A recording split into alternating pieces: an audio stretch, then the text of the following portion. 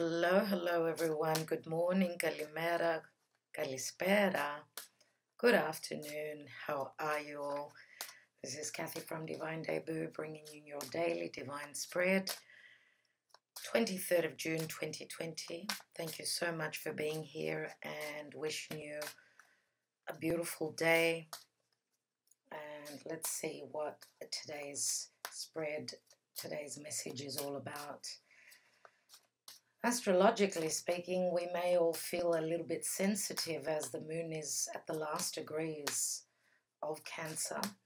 So, um, fun times ahead as we're finishing up this moon. Was a new moon. Wow. Was a new moon in the sign of Cancer, so therefore the moon has been activated. It's been activated, right? So, new moon, solar eclipse a few days ago in the sign of Cancer. Now the moon is at the last degrees of Cancer, so there is high sensitivity. So we all may be feeling a little bit down. We're going through some sort of a transformation. We're going deep. This is Scorpio. Scorpio is the house of intimacy, the occult. Okay, it is Plutonian. And Scorpio means a very deep connection where our emotional self is concerned and our physical self. So this is connecting deeply. Now, Scorpio is water, moon in Cancer, very sensitive. It, you know, getting to a point of maybe and hopefully opening up and speaking about those even darkest fears because Scorpio can be quite scary. It is very dark in that house. Okay. And I'm going to say Scorpio does speak of jealousy as well. You know, all the darkest um, energies, which, you know, Scorpio and transforming a situation is not easy, a death process. Think of all the uh, the negative emotions we could feel. That is Scorpio. Um, Scorpio is also Pluto, so it's all about penetrating, going very, very deep. Let's look at today's divine spread, everyone. Okay, so the Karma Dharma is that Pluto is transforming our life. This is giving us also the power because Pluto is very powerful. The power to exchange exchange something that was not working for us for something else. Um, deep, deep connections. Let's have a look. We've got the Six of Cups at the foundation, and this is the distant past. So this is about a soulmate connection. Doesn't have to be only love. Okay, this is your tribe. This is someone that feels like family. I usually do see this Six of Cups in this deck and if you're interested in the cards I'm using, they're in the description box below. I do see it as, you know, family coming together, people that feel like family. This is, in a way, it's like having or dealing with someone that feels like family to you. This is a card of things used to be so easy in the past. There was a very trusting connection here. What is hidden? Wow, and we've got the Three of Pentacles in the reverse. And I'm not reading reversals, so it's strange that this card came up like that. For me, a reverse card says that we have not graduated to the three yet, and three is an expansion. Okay, but so there's still a decision someone's trying to um, make their mind about, and this is the Two of Pentacles for me. At some point, we will get to the three. Now, this could also mean that someone is dropping out of a a situation. I have been speaking about an external source, um, external person, a situation that's um, in the way, which is a blockage for a deep connection. So maybe this is the time when someone is being left out of the equation. That's what's hidden here. Let's look at the recent past and we have the King of Swords. So someone's been cut out of the equation. This can also speak of someone wanting to speak their truth. King of Swords is usually someone very communicative. Okay, King of Swords, for some of you, may be someone that you're cutting out of your life. Could go either way, as Scorpio is getting rid of that dead skin, you know, getting rid of that heavy weight, making space through truth in your life. What's in the now? We've got the High Priestess. Strong, strong intuition. You know, the High Priestess could be that other woman as well. This is also communication on a spiritual level, on another level, okay? Something that may have been secretive, secrets withheld. What's your goal? What are you aiming for? And we've got the Two of Pentacles. Wow. So whether it's your goal or the person you're dealing with, Two of Pentacles, right? Trying to decide, trying to keep things up in the air, trying to balance, find equality, find, you know, balancing out that those scales. This could also mean, you know, trying to um, make ends meet where your financial situation is concerned. Let's have a look at the action and advice. And we've got another reverse card. Nine of Swords in the reverse. Beautiful. Goes back to the Eight of Swords. Um, this could be someone having made their decision. Okay, having made their decision. Nine of Swords is a really harsh card when it's in the upright. Okay, this is like going around in in circles, you know, your head not stopping. This is very strong Gemini for me, as Gemini is. It's very quick thinking, but also difficulty in making a decision. Okay, but I do feel, you know, this at some point will, it will turn upright. So someone's been looking for the answers, something that's been hidden, and I'm going to say Neptune has turned, has now turned retrograde. Okay, so it's only a few hours ago, so it's still stopped in the sky. It's stationary, um, retrograde, sorry. So it's going to start moving. It's very slow moving. And it, you know, it is very amplified. So I don't know if you feel confused. There is a sense of confusion today. Okay, Neptune can be those rose colored glasses. You may be feeling a little bit disillusioned or lost, not seeing clearly. You know, nine swords is about perception, logic. Let's look at the outcome. And we've got the King of Pentacles. You know, I was pre shuffling before I open cam. I always prepare, of course, my cards. And one card turned open, and it was the King of Pentacles. And I don't find it strange at all that he's here. Whoever this is in your life, and he has been showing up, in this deck, when I've been reading with this deck, he's got his head down. This would be Taurus, Virgo, Capricorn. Doesn't have to be. It is mainly my Taurus card, but it doesn't have to be for all of you. This could be someone who's got strong Taurus in their chart. Now, if this is Taurus, Scorpio is their seventh house of partnership, other people. Some of you may be dealing with two different people, Aquarius, Gemini, or Libra, and another earth sign. Taurus, Virgo, Capricorn. Um, now, I'm going to say, you know, this is Aquarius and this is Taurus, we've got Scorpio as well. These are the three fixed energies. Now, this King of Pentacles has got a lot that they're dealing with. He's um, maybe more than likely, this is the energy that they're feeling. Nine of Swords, they feel bound, they feel chained, they feel as though they're trapped in some sort of a situation and they're trying to find their way, way out. They're trying to find a way to escape, jump over those hurdles. For others of you, King of Swords is in your recent past. King of Pentacles is in your future. Let's look at the divine position. And we've got the King of Wands. Wow. King of Wands is someone who takes action, someone who wants to create, someone who's very sexually driven.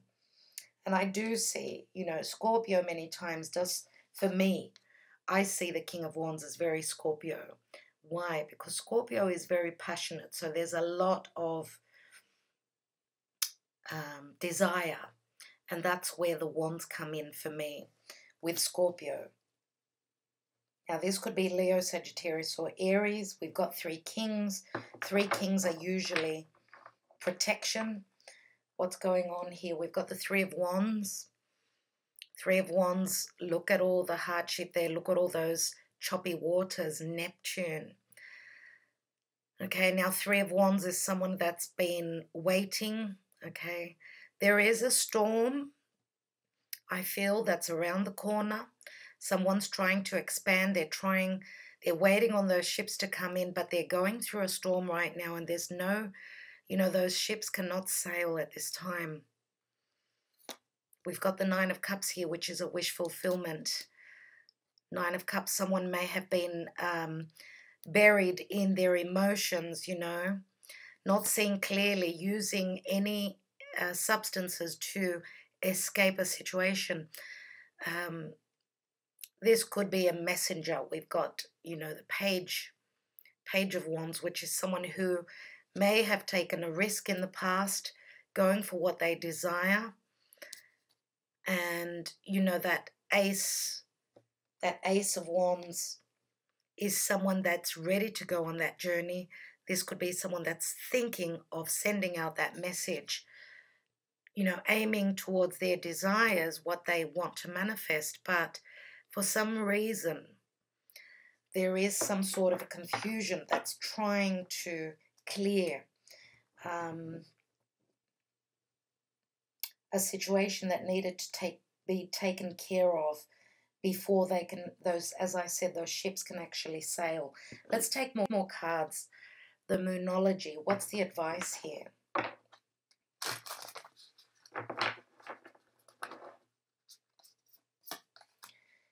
Emotions are running high. Super moon. Exactly what I was saying before. Usually a super moon is a moon that it is a full moon and it's usually very close to the earth. Therefore, it does look bigger and obviously its energy is very amplified. So this does bring up sensitivities.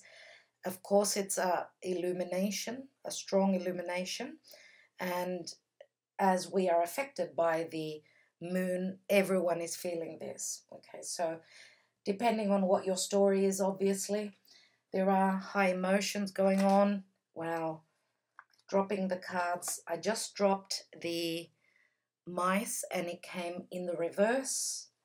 So this is good because the mice can mean uh, financial loss. It could mean any sort of a nuisance, um, a sense of burden, hardship. Okay, so it, being in the reverse obviously is very good. Let's take some Lenormand and see what's going on. What's going on as the Lenormand does speak of a different story. It sees things from a different perspective. Let's um, take the first card and we've got the path. Now the path can mean a decision. This can also mean um, there's been, you know, divided emotions. So a different path. Maybe this is someone deciding to change their trajectory. And this is fated. It is a number 22. Okay, this is a transition point. Let's have a look. What else do we have? We've got the star card. Okay, someone is heading towards what they desire, what they wish, and this is the news coming in it is a one, so it is a beginning. Again, this could also mean travel as well. These are messages coming in, new beginnings. This could even be a visitor. And we've got another karmic card 11, which is the whip. This can mean arguments or two people not being on the same page, or a decision is difficult uh, to be made. Okay. The whip this is very similar to the Five of Wands. Let's see what's beneath it. And we've got the house. So something to do with your um, stability, your emotional self. That house card is very much, very much like the what happened with the eclipse. The eclipse energy is in the sign of Cancer. Let's look at the Lenormand and see what's going on in love. particularly in love place spirit. So show me.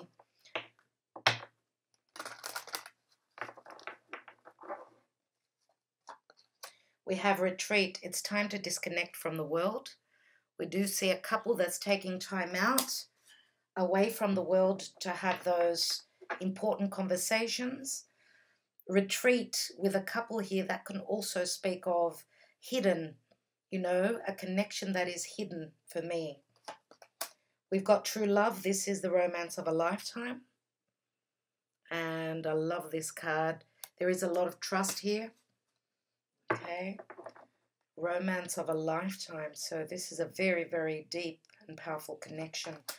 And we've got love yourself first. Your self respect makes you more romantically attractive. So, someone obviously with this card felt as though they were not worthy, I would say, more than likely, of this connection. So, this was doubting themselves. They were doubting themselves, maybe even doubting this connection. There may have been a breakup where someone needed to love and nurture themselves. So, there was a point where someone needed to understand that they were worthy of this connection. And, you know, this is sort of, this does speak a little bit of the ego as well.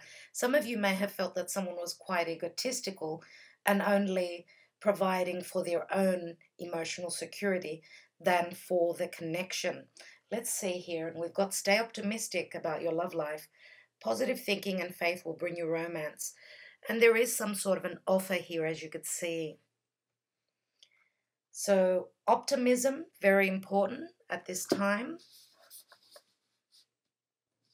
Let's see if we can fit all these cards in the picture here. All right. So, I'm going to take now more cards. Let's have a look.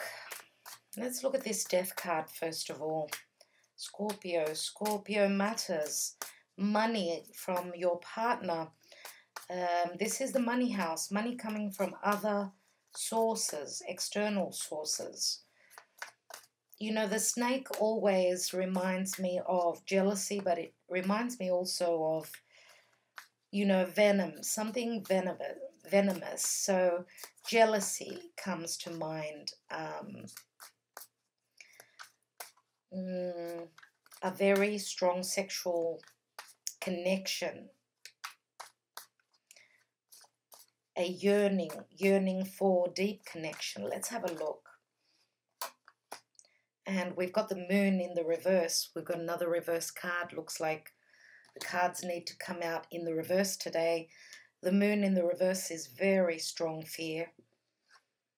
Uh, maybe even a sense of need, thinking that there is deception here. Things that were hidden, you're wanting to go deep to figure out to clear up because this is massive illusion here. And we know that the moon is also in the reverse, and therefore it goes back to the star card for me. So Aquarius would be the air energy here. This could also mean deception or someone not being very nurturing, very loving, as the you know the moon card does speak of Cancer for me. It can be Pisces as well. Pisces is unconditional love, but it's also that illusion. Now, a cycle needed to go through transformation before it can come to a completion. What else do we have? And we've got the Page of Wands here. So someone is willing to take that risk, even though there may have been a lot of confusion here. Let's have a look. Let's take more cards. So I'm going to take a card first on this Three of Wands, which is the general energy. We've got the Ten of Swords. Wow, there was an ending, and this needed to happen. This is the darkest before the dawn, okay, which means that there was a cycle that needed to, there needed to be quiet, peace, um, healing as well. And this, because we've got the Nine of Swords and the Ten of Swords here,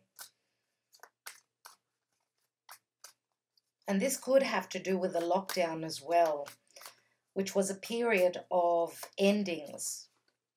Okay, it's like there's a rebirth, whether it's in our emotional life or our physical life, you know, our surroundings, even on a collective scale. Let's take another card.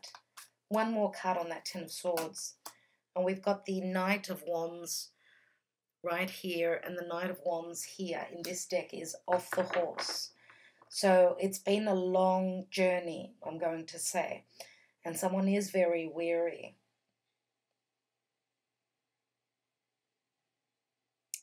Now, this could also speak of a uh, burning out of desire. So, something that's been heavily weighed on. So, what I feel here is that someone lost the tools, someone lost um, the ability.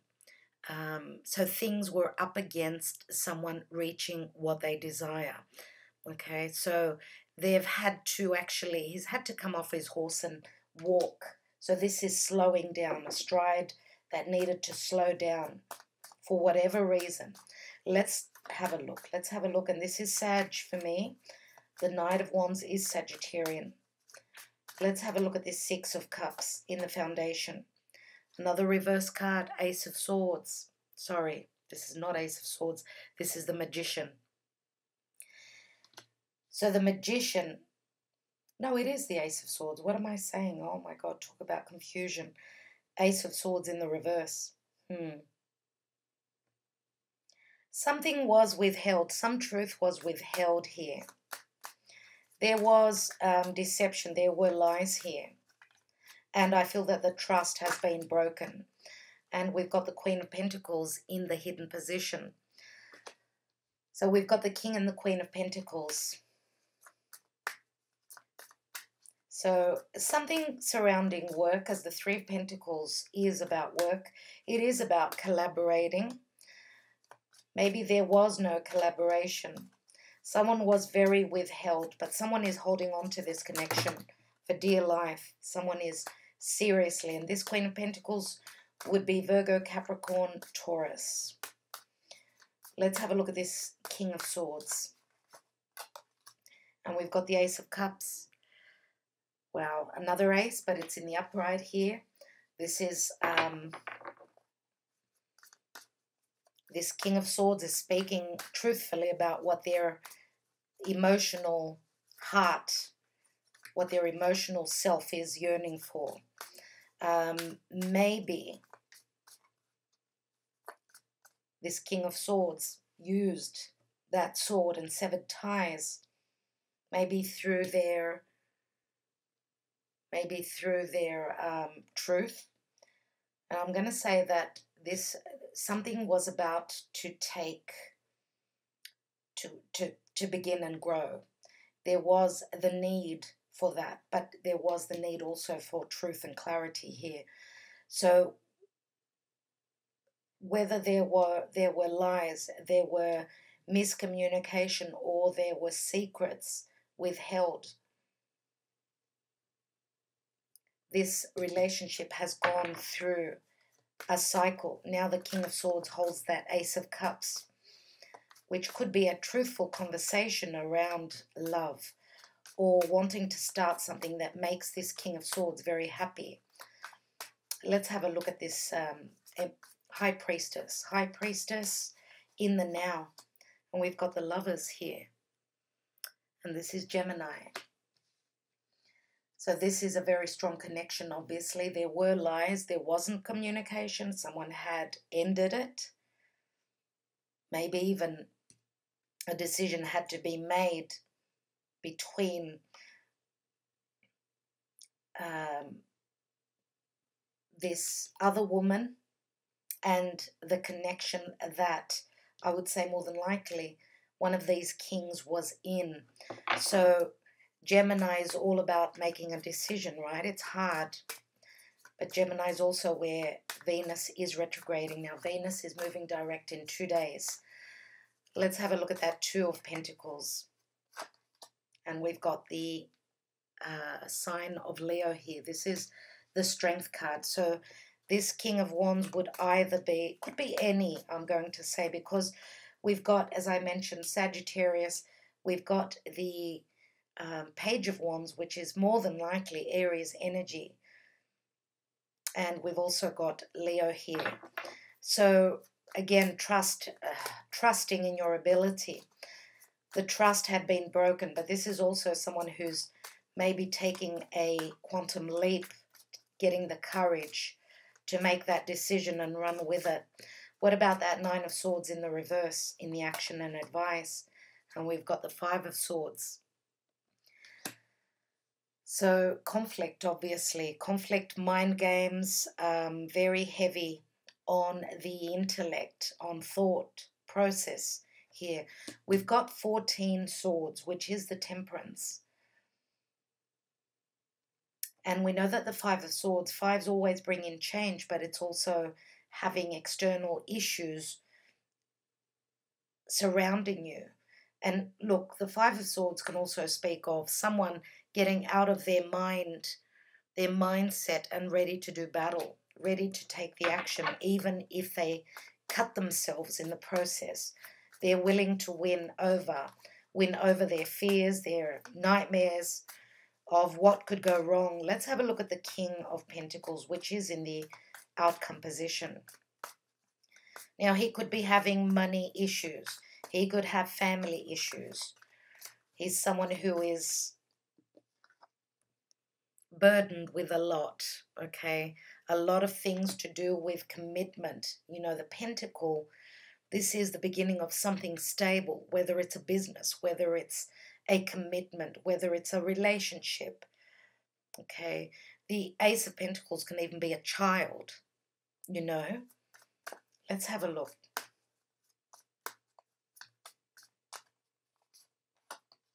And we've got the sun here, everyone.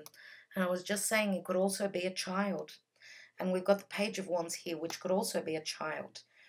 So obviously, King of Pentacles, King of Wands, this would be very strong Leo. For others of you, the fact that it could be Sagittarius, we've got the Knight of Wands here.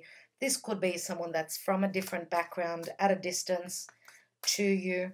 Let's have a look. The Sun does speak of healing. It speaks of clarity. It does speak of ego as well.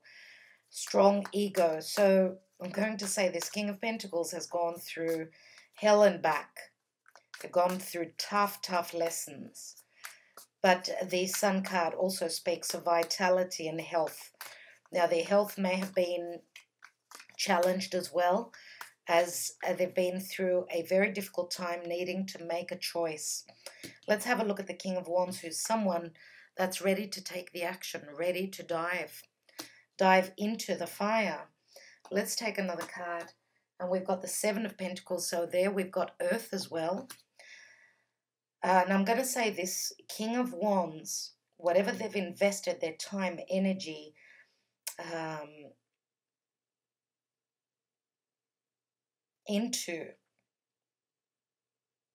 I feel as though they're ready to take that dive now, ready to take that risk. If it's taken them a while, and this could be seven weeks, this could be, for others of you, this could be seven years, okay, that they've taken time to make that decision to move forward. And we've got the Knight of Swords. Now, this could mean anything legal as well. Look at that sword that's up in the air. This is the Knight of Swords, so this is quick communication, quick action, moving into it and taking charge. Severing ties with whatever's been burdensome. These could be matters of the law as well. But of course, you know, because we've got the scales, this does speak of a connection or a some sort of a relationship where others are concerned because we've got the scales here and there's been an imbalance, no doubt.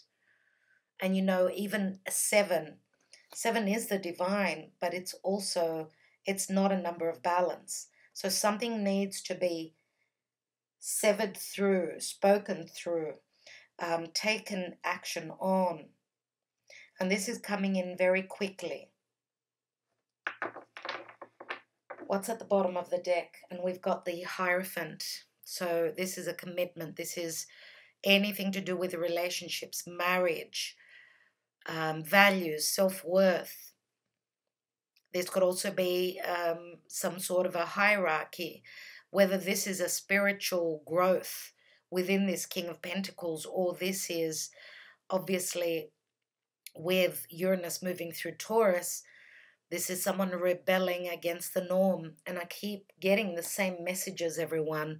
Three of Cups, connection, reconciliation, celebration, maybe even gossip. And we've got the Five of Wands here. So I'm going to say that Five of Wands could also be a family. Okay, things to do with the family.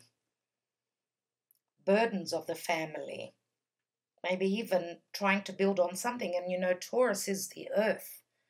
Taurus is also things to do with land, property, um, anything to do with, you know, building, literally building.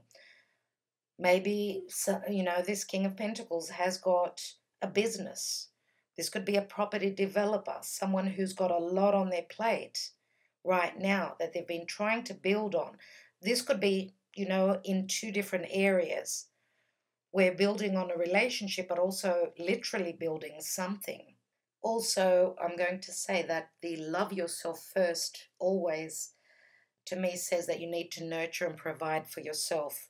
Now, because Leo is the sun, the sun is our ego, it's our physical body.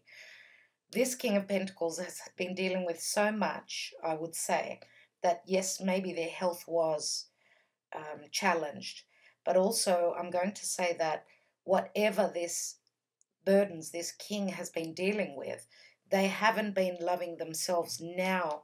It's more than likely that they're going to aim for to love themselves first, which means to nurture, provide, and give to their own physical body, their emotional body, and maybe even go for what they desire. You know, Leo is true love, it's risk taking. So it that's what it's all about, and that's what I think is happening with this King of Pentacles.